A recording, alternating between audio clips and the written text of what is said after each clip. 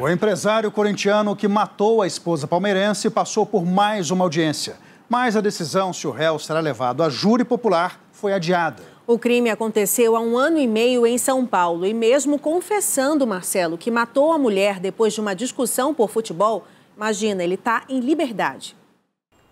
Na chegada ao fórum, os advogados de Leonardo Seschini não quiseram falar.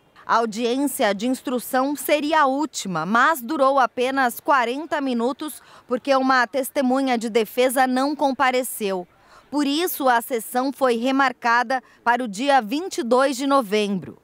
Leonardo matou a mulher Érica Fernandes Alves Seschini a facadas em janeiro de 2021, no apartamento do casal, na zona oeste da capital paulista. O motivo da briga, que terminou em morte, foi a conquista da Copa Libertadores pelo time Alviverde.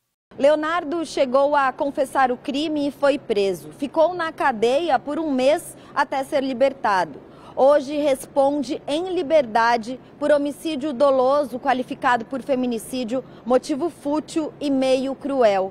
A expectativa é que o empresário seja ouvido na próxima audiência marcada para novembro, para que a justiça decida se ele vai a júri popular.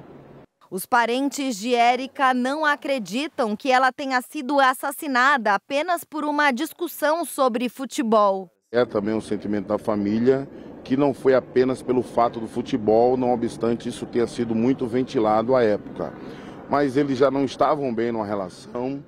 Existe um áudio que ele mandou para um dos familiares né, da vítima e nesse áudio ele dizia claramente que hoje ele a mataria.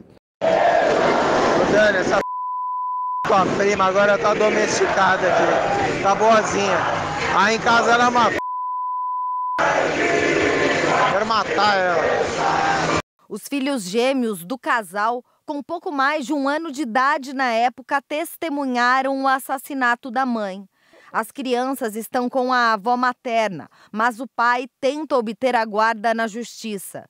O advogado da família de Érica lamentou mais um adiamento, mas se mantém confiante.